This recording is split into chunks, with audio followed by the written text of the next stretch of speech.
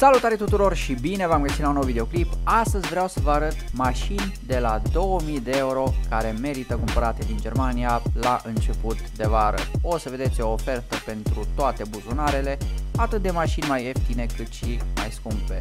În orice caz, majoritatea mașinilor chiar sunt foarte ok raportat la prețul cerut. Sunt niște mașini în stare bună, mașini cu un istoric complet. Înainte să începem, după cum bine știți, nu uitați de un like și de un share la acest videoclip. Haideți să vedeți ce am găsit. Verifică orice mașină second hand înainte să o cumperi cu 20% reducere, poți folosi codul autorulate la checkout sau ți-am lăsat un link în descrierea acestui videoclip. Aici avem o Skoda Octavia care din păcate a avut o daună în trecut. Partea din față după cum puteți vedea a fost afectată, după care normal a fost reparată și scoasă la vânzare. În schimb, kilometrajul la o primă vedere pare a fi unul real. În 2022 mașina avea 305.000 de km, iar în 2023 308.000 de kilometri. Măcar kilometrajul este unul real, pentru că da, sunt multe mașini ieftine care au mulți kilometri dați înapoi. A fost găsită o daună în Germania în 2011 între 0 și 2000 de lei. În orice caz nu este vorba despre această daună, pentru că dauna asta cu siguranță este mult mai scumpă. Aici avem alte informații despre mașină, Skoda Octavia 2010, motor 2 litri diesel de 140 de cai, daună detectată în Germania, a fost la vânzare în Germania, iar în 2020 mașina a fost înmatriculată în România. Cum spuneam, verificați orice mașină second hand, indiferent de cât costă, înainte să o cumpărați, pentru că puteți găsi informații foarte utile. Aveți link în descrierea acestui videoclip sau cod autorulate pentru 20% reducere. Astăzi vreau să începem cu o mașină de buget și mai exact cu acest Renault Clio din 2007. Știu că la prima vedere poate este o mașină neinteresantă pentru mulți, dar dacă ai nevoie de o mașină perfectă pentru oraș și pentru navetă la un preț cât se poate de mic, chiar merită să te uiți la un Renault Clio ca acesta, pentru că da, este și o mașină ieftină și ușor de întreținut. Anvelopele sunt în stare bună, cam așa arată în interior, vine cu aer condiționat, comenzi în spatele volanului, să spun așa, două geamuri electrice și cam atât.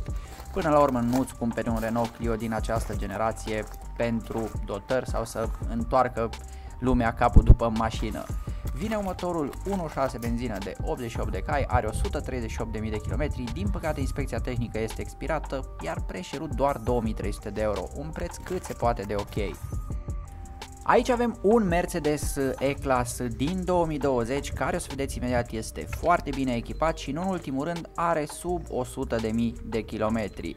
Cu siguranță dacă vrei un model ca acesta întreținut, cum spuneam, bine echipat la prețul corect, merită să te uiți la acest uh, Mercedes, pentru că da, nu este o mașină care să coste 15.000 sau 16.000 de euro, cum își doresc majoritatea. Interiorul arată de-a dreptul superb în combinația asta de culori, are scaune din piele ventilate și încălzite, climă automată navigație, ceasuri digitale, normal, cutie automată, comenzi pe volan, pilotul automat adaptiv, farurile full LED adaptive, Până la urmă, na, este un E-Class din 2020, clar și lista de dotări este una cât se poate de lungă.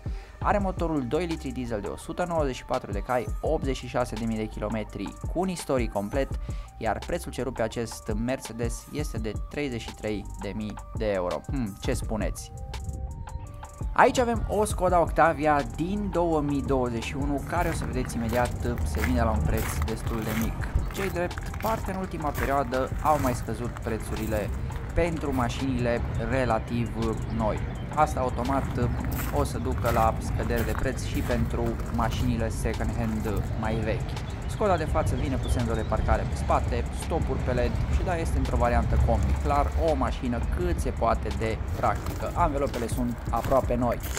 Interiorul arată ca nou, pe partea de dotări vine cu încălzire în scaune, clima automată navigație, ceasuri digitale, are chele centric, keyless go, comenzi pe volan, pilotul automat adaptiv, farurile full LED, clar îți oferă exact de ce ai nevoie, chiar dacă nu este Skoda Octavia Full Option. Are motorul 1 litru benzină de 110 cai, 51.000 de km, inspecție tehnică nouă, iar preșerut 19.000 de euro. Chiar mi se pare un preț cât se poate de bun pentru o mașină aproape nouă. Aici avem o Honda Accord din 2006 care o să vedeți imediat se vine la un preț destul de mic pentru că da, din păcate are ceva probleme cu rugina. Spre exemplu, un model ca acesta într-o stare bună poate să ajungă chiar și la 6.000-7.000 de euro. Deci dacă nu te-ar deranja problema cu rugina și crezi că o poți rezolva la un preț ok, cu siguranță merită cumpărat această mașină și haideți să fim sinceri, chiar are un design aparte. Cam așa arată în interior, da, scaunul șoferului are ceva semne de uzură, vine cu clima automată, comenzi pe volan, 4 geamuri electrice, senzor de ploaie și de lumină, pe partea de dotări eu zic că stă destul de ok. Chiar mi-ar plăcea ca la un moment dat să dețin un astfel de model, pentru că, cum spuneam, este o mașină care mie cel puțin chiar îmi place. Are motorul 2 litri benzină de 155 de cai, 224.000 de kilometri, iar preșerut doar 2300 de euro, un preț cât se poate de bun. Aici avem un Seat Leon din 2015, o mașină care merită atenția voastră dacă aveți un buget mediu și normal dacă vreți o mașină cât se poate de bine echipată. Ăsta ar fi avantajul pentru Seatul Leon, vine cu multe dotări la un preț mai mic decât un Golf 7 spre exemplu. Are stopuri pelet, senzor de parcare față-spate, scaunele sport semi-piele încălzite, clima automată, navigație, comenzi pe volan, pilot automat, sper că vedeți în spate, mai are încă un set de jante, în plus de asta vine și cu farurile full LED și pachetul fere interior-exterior. Ca să găsești un Golf 7 cu dotare asemănătoare, cu siguranță vei plăti în plus. Are motorul 1.8 benzină turbo de 180 de cai, este motorizarea de generație nouă, 97.000 de km, iar preșerul doar 10.900 de euro. Aici avem o Skoda Fabia din 2011 care din nou este bine echipată și se vinde la un preț cât se poate de ok. În general, prețurile pentru Skoda Octavia oscilează destul de mult, cel puțin în Germania, adică, nu știu, încep de pe la vreo 1500-2000 de euro și pot să ajungă chiar și pe la 7000-8000 de euro. Vorbim exact de acest model, nu de generația mai nouă. Cam așa arată în interior, vine cu scaunele sport încălzite, climă automată, pilot automat, două geamuri electrice, pe partea de dotări chiar stă destul de bine, ținând cont că totuși este o Skoda Fabia. Haideți acum rapid să vedem specificațiile și să-mi spuneți voi dacă merită. Are motorul 1.2 benzină turbo de 105 cai, 108.000 de km cu un istoric complet, e valabil până în 2025, iar preț cerut 5.000 de euro. Este un preț mediu. Aici avem un BMW X1 din 2019 cu sub 100.000 de km la bord. Mașina de față este vândută chiar de către reprezentanță, deci poți să fii 100% sigur că îți cumperi o mașină într-o stare cât se poate de bună. Acum normal și prețul cerut uh, poate este mai mare cu 2000-3000 de euro decât ce găsești în mod normal pe piață, dar totuși ai siguranța că îți vei cumpăra o mașină ok. Cam așa arată în interior, vine cu scaune semi-piele încălzite, climă automată navigație, ceasuri de bord digitale, comenzi pe volan, trapă panoramică, clar este un BMW X1 cât se poate de bine echipat, are și farurile full LED adaptive și în ultimul rând vine și cu tracțiune X-Drive. Acum să vedem rapid specificațiile. Are motorul 2 litri diesel de 150 de cai, 92.000 de km cu un istoric complet, iar prețul cerut 25.000 de euro 400. Aici avem un Audi A6 din 2017 în varianta limuzină, un exemplu foarte bun ca să vedeți că în Germania nu se prea caută mașinile în varianta limuzină, pentru că da, acest Audi A6 l-am mai prezentat și în alte videoclipuri. Vânzătorul, spre exemplu, se adresează pieței din Germania, adică vinde mașini cu kilometri puțin și în ultimul rând cu un istoric complet, doar că și prețurile sunt ceva mai mari. Cum spuneam, de asta nu s-a cumpărat acest Audi A6 pentru că este în varianta limuzină. Are scaune din piele încălzite, clima automată, navigație, comenzi pe volan, pilot automat, cutie de viteze automată. Pe partea de dotări clar stă destul de bine. Haideți acum rapid să vedem specificațiile și să-mi spuneți voi dacă merită. Știu, se găsește și la 11.000 de euro. Are motorul 2 litri diesel de 190 de cai, 94.000 de km, are și suspensie pe aer, iar preț 24.000 de euro. Și dacă toți suntem în perioada verii, chiar ar fi fost păcat să nu vă arăt și acest Renault Wind din 2011. Poate este o mașină de care mulți dintre voi nici nu ați auzit, dar în orice caz, dacă vă place, nu uitați să lăsați un comentariu puțin mai jos și să dați un like la acest videoclip. Da, este o mașină care aș putea spune că arată oarecum sport și în plus de asta este și în variantă cabrio. Cam așa arată în interior, avem scaune sport semi-piele, aer condiționat, comenzi pe volan, pilot automat, în orice caz chiar arată foarte, foarte bine. Și în plus de asta îți poți cumpăra un Renault ca acesta la un preț cât se poate de mic. Este o mașină potrivită pentru oraș. Haideți acum să vedem specificațiile. Are motorul 1.2 benzină de 100 de cai, 62.000 de km, tiu valabil până în 2025, iar preț cerut 7.000 de euro. Hmm, ce spuneți?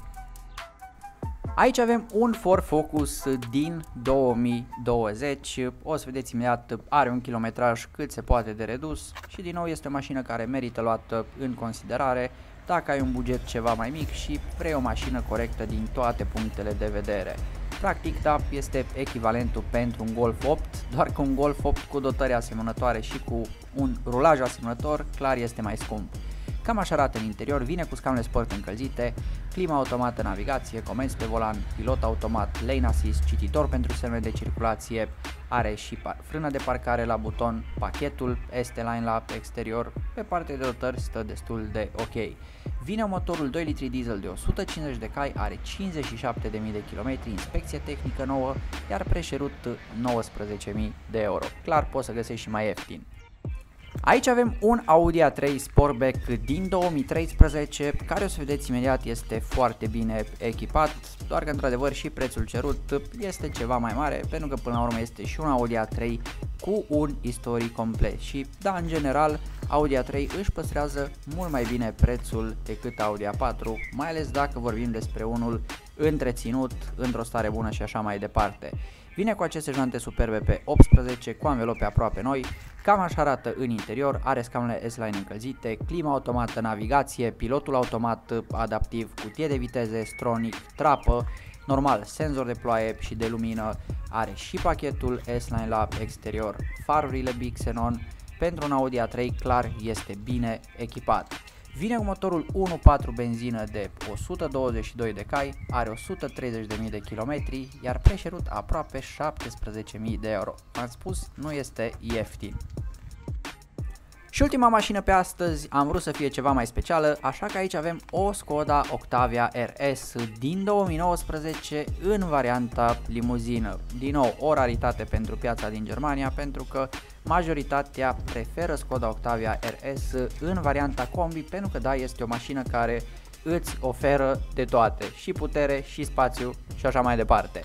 Vine cu jantele originale pe 18 cu anvelope aproape noi, cam așa arată în interior, normal are scaunele sport încălzite, clima automată navigație, ceasuri digitale, cutie de viteze DSG, chele centric, let's go. Chiar sunt foarte curios ce mașină v-ați cumpărat din videoclipul de astăzi, aștept părerile voastre în secțiunea de comentarii și după cum bine știți, nu uitați de un like și de un share la acest videoclip. Are motorul 2 litri benzină de 245 de cai, 40.000 de kilometri, iar preșerut 27.000 de euro. Cam astea au fost mașinile pe astăzi, ne vedem data viitoare.